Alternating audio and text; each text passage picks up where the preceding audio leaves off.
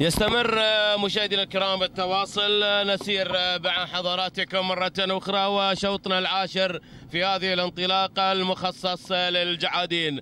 المركز الأول هنا يحتله الصباوي في المركز الأول أو الصداوي لسالم أو لجبريل بن محمد.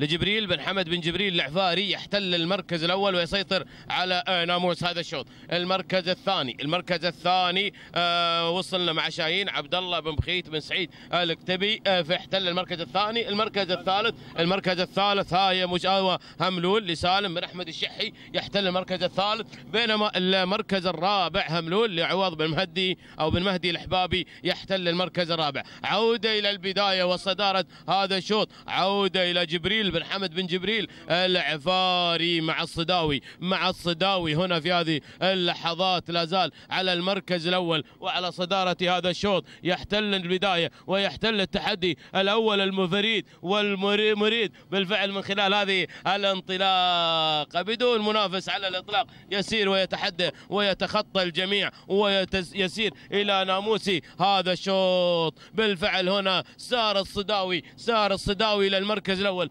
اسمع صدى صوتك مع ضجة الناس والحس يسري للضماير. حسوسي لكن يلا يا العفاري أشوف واصل. عبد الله بن بخيت بن سعيد الاجتبي صاحب نقطة في الشوط الماضي الآن يستعيد. مرة أخرى نشاطه ويحقق الانتصار الثاني في هذه اللحظات؟ راح عبد الله بن سعيد بن بخيت الاجتبي إلى المركز الأول. يحقق انتصار وفوز وناموس في هذه اللحظات. ما شاء الله تبارك الله. سار وتحدى الجميع ويسجل النقطة الثانية. تهانينا عبد الله بن بخيت بن سعيد. الاجتبي على هذا الفوز والانتصار. جبريل بن حمد بن جبريل العفاري في المركز الثاني. وثالثا يأتي سلطان بن مسفر بالقوبع. رابعا راشد بن مطر بن لاحج من احتل المركز الرابع والتوقيت الزمني.